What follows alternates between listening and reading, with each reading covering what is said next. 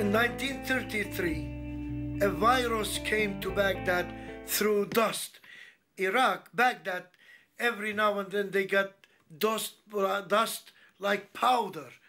They hang bla- uh, wet blankets on the windows, on the doors, and still powder comes in. And that time hit about 7,700 and something eyes. Some one eye, someone like me, two eyes. And at that, in those days, you know, there were no antibiotics. They used to in, give us injections, uh, milk. And this virus, it hit, in two hours, the eyes were full of pus. Look like this. In one hour, the pus was out. I was born in a Christian, born, again Christian family. My father, my mother, they were very, very strong believers, very conservative. But when my father died, you know, devil started talking in my ears. I became atheist. So I took my violin and as I said, went to play in Uh, nightclubs for the belly dancers, drinking, smoking, beating. I was terrible. The, if anybody said anything wrong to me, I, I made his nose fly. But it's very long. I was with those one those belly dancers in Beirut.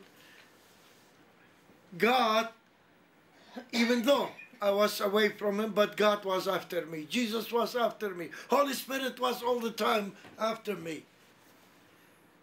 With those very dancers, one night I was in a, dance party. I drank too much and mixed whiskey, brandy, and, and I became so drunken, I was out of conscience. They pulled me, dragged me out into a very, very cold weather. I got bad cold. These ladies took me to a hospital. God led them to a hosp Christian hospital. In that hospital, I was three days unconscious. I didn't hear anything, I didn't lit anyway. The third day I noticed a man who could see a little was coming to the people and telling them to Jesus, about Jesus, witnessing them. And I felt he was coming to me. I said in my mind, okay, you come to me, I'll give you a good lesson. He said to me, hello, Sonny. I said, I didn't say hello. I said, what do you want? He said, how are you? He said, how are you? I said, what has to do with you then? He said, how are you with Jesus? I said, with Jesus. Are you talking about that criminal? If he's the son of God. Who's God's wife? Tell me. Anyway, the man knelt on the floor and prayed for me. He got up. He wanted to kiss me. I hit him on both cheeks. And he went, I said, don't come back to me again, you stupid man. Next day he came straight to me. He knelt on the floor, prayed for me. I was touched.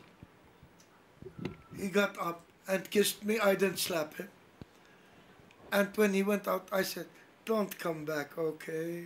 Not like yesterday. Don't come back. Hey, you stupid man. No, today I said, don't come back, okay? The third day he came straight. I said, why you are coming to me? He said, don't say why.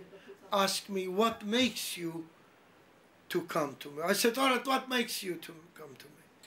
He said, the first day I prayed to, I came to you, I went home back and I was praying, God, the Holy Spirit spoke to me. Said, this man is an empty vessel. I want him from you. I want him from you. Don't give up. Go on, go on to him again. When he said that, my tears ran down, and I was in a terrible fever. I went out of my bed and jumped on the floor.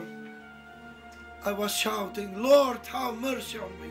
Lord, have mercy on me. Lord, have mercy on me. The man came and put his hands on my head and rebuked the devil, the fever. He said, in Jesus' name, leave this fever.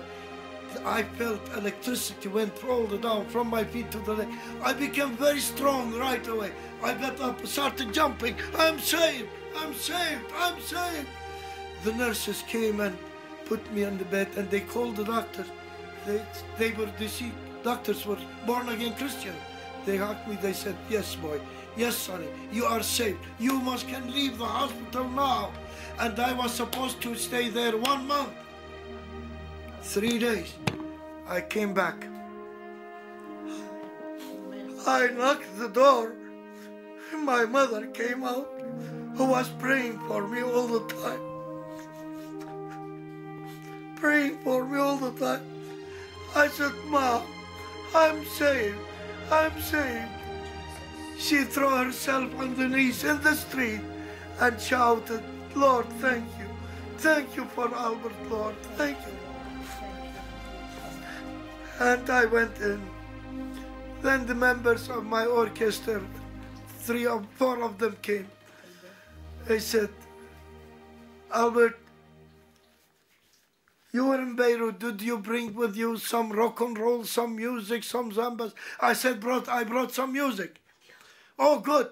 I said to my mom, Mom, go and get me that book.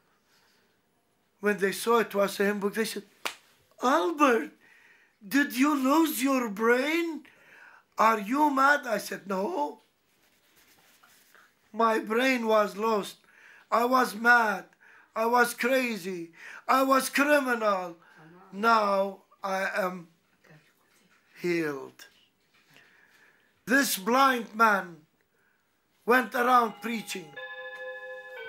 I will say alone, but I was not alone. We were four the Father, the Son, the Holy Spirit, and myself. Here is Matthew. Here is Proverbs. Here's Isaiah. Every verse of the Bible is a precious feeding food for me. Every verse. Because Bible says every scripture, all scripture. Pharisees named Nicodemus. Uh, ruler of the Jews.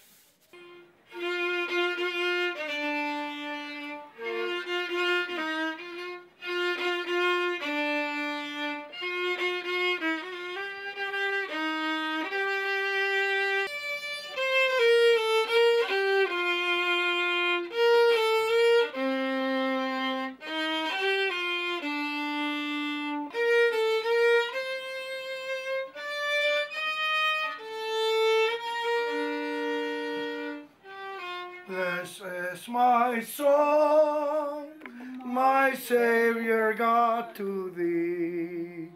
How great thou art, how great thou art.